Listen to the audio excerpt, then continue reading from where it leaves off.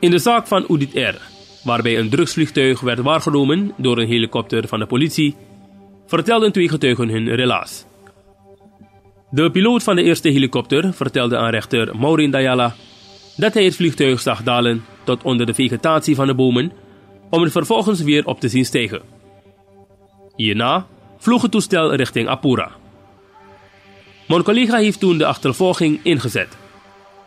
Advocaat Erwin Kanhai wilde weten of het vliegtuig was geland. Dit moest de getuige onkennend beantwoorden. De eerste getuige kon ook niet aangeven of er sprake was van een dwanglanding. De tweede getuige zei dat hij de andere helikopter bestuurde en via radiocontact werd geïnformeerd over het vliegtuig. De van ontucht verdachte Glenn K. zat stil op zijn stoel, terwijl advocaat Gaetano Best een punt van orde maakte aan het begin van de zitting.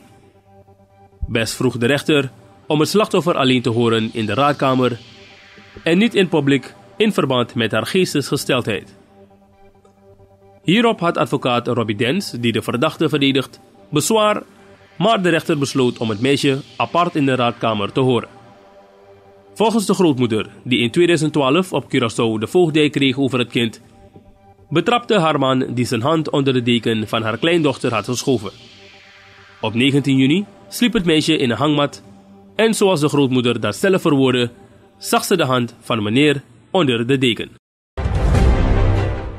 In het kader van herstel van de mijngebieden streeft Nieuwmond Suriname ernaar om van het jaar de target van 14 hectare te halen voor het beplanten van bomen.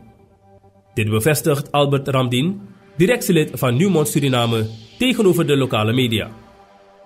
We hebben in het eerste jaar al 10 hectare beplant met bomen in gebieden die wij niet meer gaan gebruiken. We zijn begonnen om het in de natuurlijke staat terug te brengen.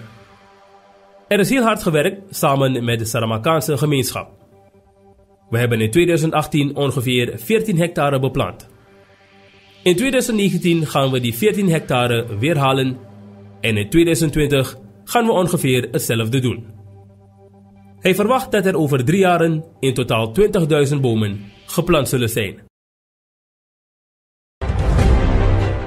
De politie van Centrum heeft vrijdag de vrouw die haar kindje op het achtererf had begraven achterhaald en gehoord. Ze is na het onderzoek heen gezonden.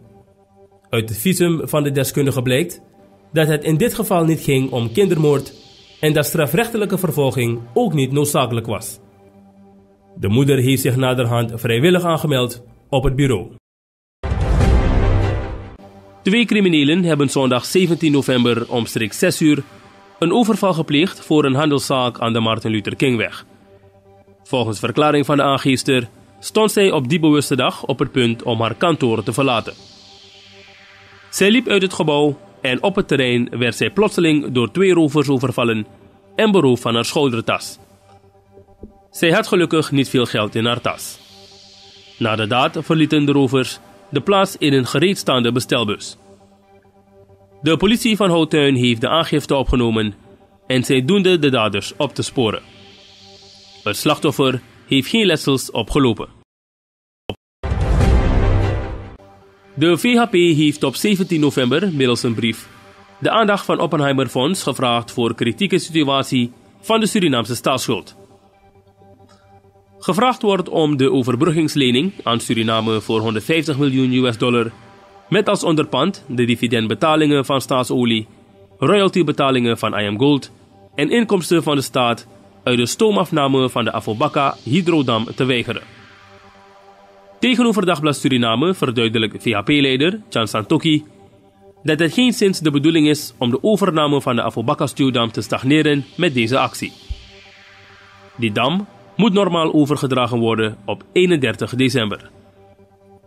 Er zijn mogelijkheden om goedkoop kapitaal aan te trekken met lokale financiers en kapitaalkrachtige personen.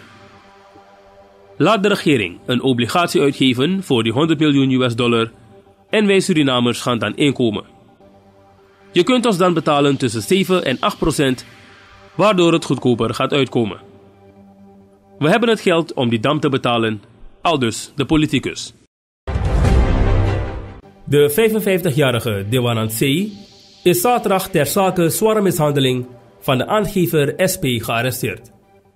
Uit het politioneel onderzoek blijkt dat enkele mannen een werk hadden aangenomen in de omgeving van Uitvlucht. SP zou het werk alleen hebben afgerond en ontstond er hierover een woordenwisseling.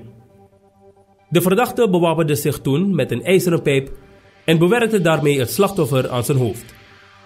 Als gevolg van die slag liep het slachtoffer een barsverwonding op. SP deed na de mishandeling aangifte bij de politie.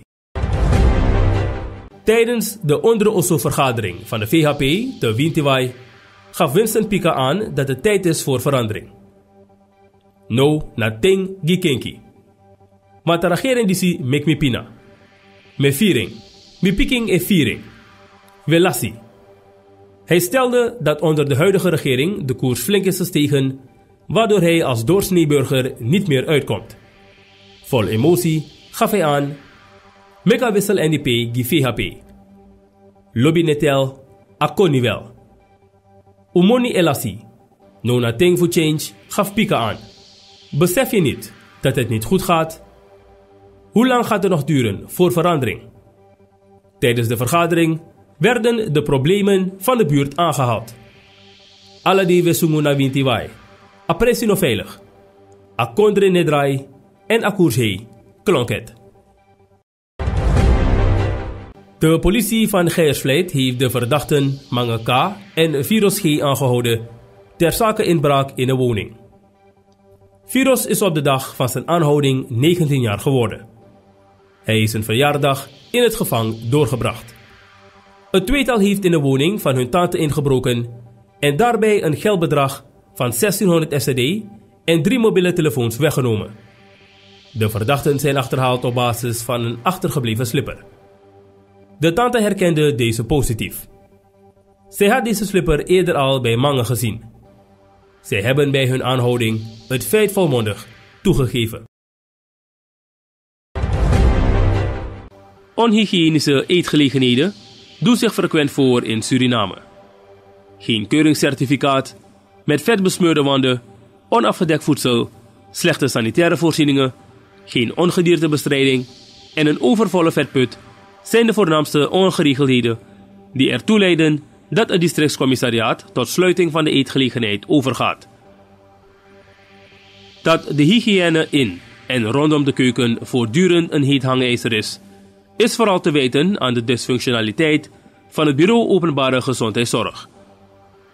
De voedseltechnoloog Ricky Stuttgart beschrijft BOG tegenover lokale media als volgt. BOG is in de loop der jaren onthoofd. Doordat ze onthoofd zijn, dus onvoldoende functioneert, krijg je dan voedingscriminelen. Mensen nemen voedselveiligheid dan niet meer serieus. Zo kunnen er voedselintoxicaties plaatsvinden.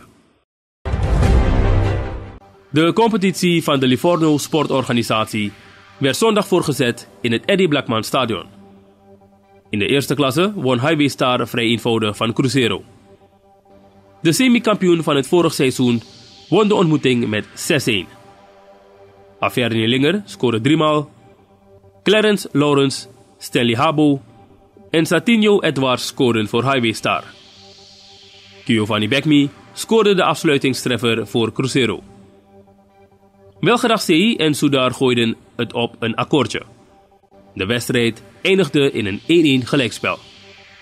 Folini Abona scoorde voor C en Kawish Balgobint voor Soudar. Real Frederikshoop en HVV speelden 2-2 gelijk.